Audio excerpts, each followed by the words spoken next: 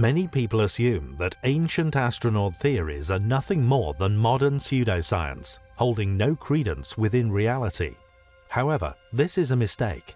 The idea of ancient visitors from other planets in distant galaxies has been around since the beginning of human history.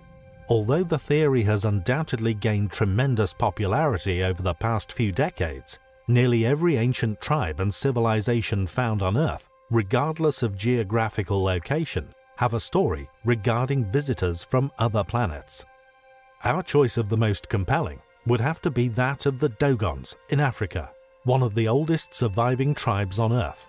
They not only have a legend which tells of alien visitors, but they retained invaluable data, reliable knowledge which was passed down from generation to generation, details surrounding their ancient visitors' home solar system, details that at the time modern civilization had yet to discover.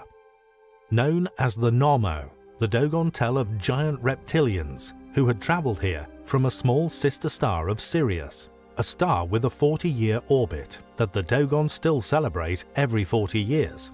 What is remarkable about their claims, however, is the details they give regarding the Sirius system and indeed the Nommo's home star a tiny star which our modern telescopes did not confirm the existence of until several years after the first cataloguing of this information.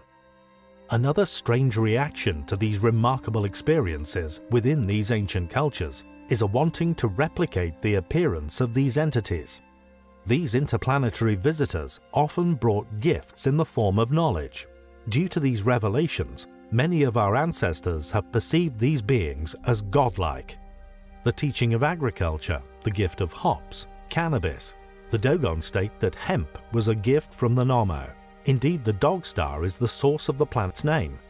Even strawberries, among many other living things, and ingenious techniques of managing such, have been said throughout antiquity, indeed throughout the world's cultures, to have first arrived here on Earth in the form of gifts from these beings. The Dogu, Dogu meaning clay figure, could be seen as commemorative creations in memory of such entities visiting our planet in the past.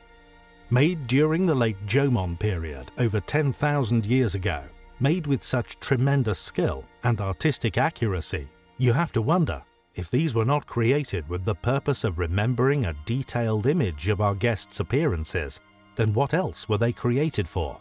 Or more specifically, to look like? Interestingly, some of the figures appear to have been deliberately created missing limbs, resting on intricately made crutches.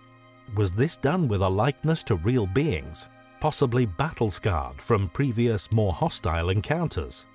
The Incas, Mayans, Aztecs, Dogons, indeed anywhere you look within antiquity, you will inevitably be confronted with fantastic tales of ancient visitors even detailed knowledge of things so far out we cannot even confirm if what they say is true. With so many similar legends found all across the world regarding ancient astronauts, it's safe to say the truth is out there.